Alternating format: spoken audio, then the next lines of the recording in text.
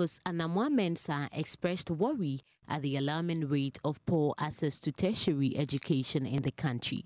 According to him, only 4.1% of the population has access to post-secondary education.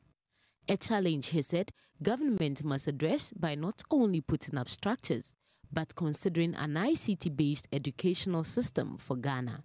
Educators and policymakers must turn to new technologies, including e-learning and online learning for solutions.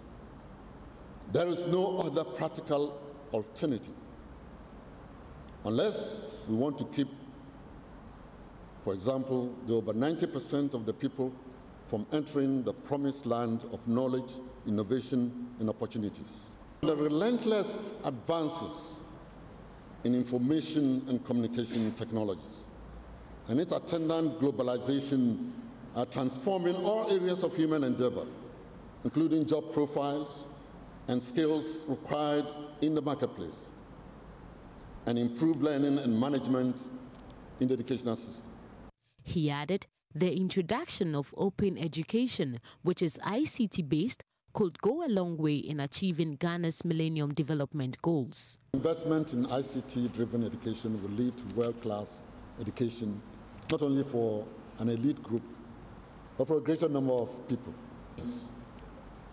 It is my hope that the government will invest heavily in this venture by ensuring that all institutions and learning centers are wired by 2025. That support is given for developing the capacity of academic staff in institutions to be able to integrate technology in instruction to create open educational resources and to adapt open educational resources developed by others.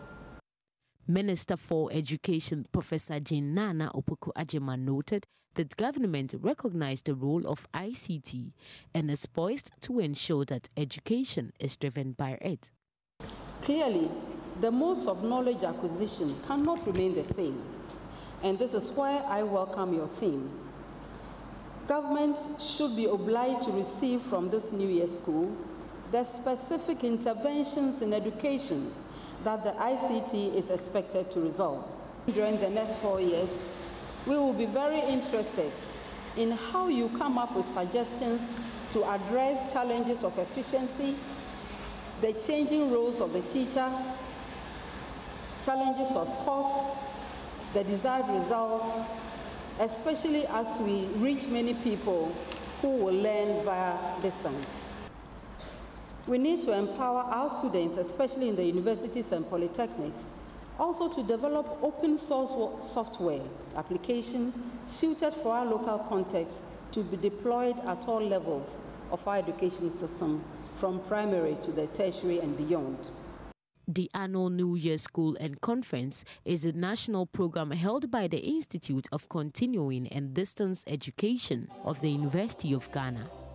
This is the 65th edition themed Information Communication Technology will examine the challenges and prospects of ICT in education.